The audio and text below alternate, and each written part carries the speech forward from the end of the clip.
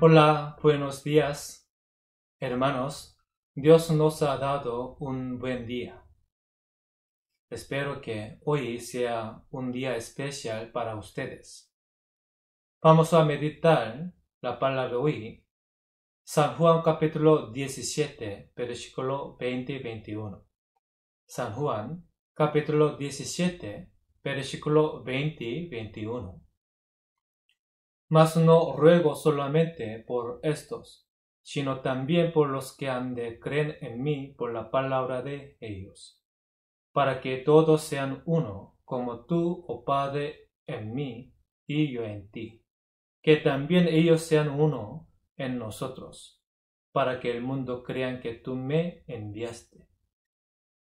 Jesús, antes de ser crucificado, él tenía una preocupación de sus discípulos, porque este mundo está lleno de lobos.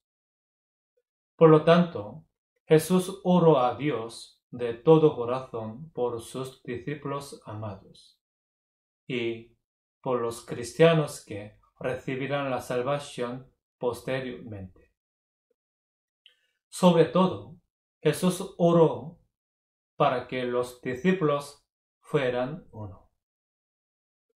Hermanos, ¿saben que el Señor está orando para nosotros y para que seamos uno?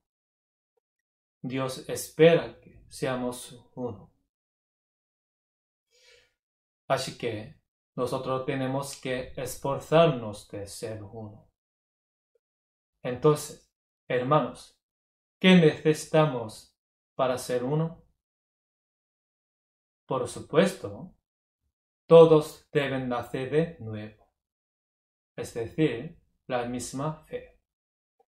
Y para ser uno, hay que tener un mismo corazón. Hermanos amados, la iglesia primitiva, los hermanos servían y se sacrificaban teniendo todos un mismo corazón. Entonces, para ser uno, ¿qué corazón debemos tener? ¿Qué corazón debemos tener? Vamos a ver Hechos capítulo 3, versículo 15. Hechos capítulo 3, versículo 15. Matasteis al autor de la vida, a quien Dios ha resultado resucitado de los muertos, de lo cual nosotros somos testigos. ¿Qué corazón debemos tener? El corazón, el corazón de testificar a Jesús. Es decir, el corazón de predicar el Evangelio. Hermanos amados, para que seamos uno, todos nosotros tenemos que un corazón de querer predicar el Evangelio, desde niños hasta abuelos. Cuando tengamos este mismo corazón, Dios nos hace ser uno y a través de nosotros harán gran trabajo como los hermanos de la iglesia primitiva, como Pedro, como Pablo, etc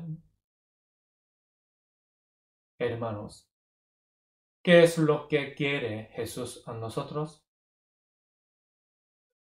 Nosotros somos testigos de Jesús. Hermanos, el retiro de verano está muy cerca. Espero que todos preparen con el mismo corazón.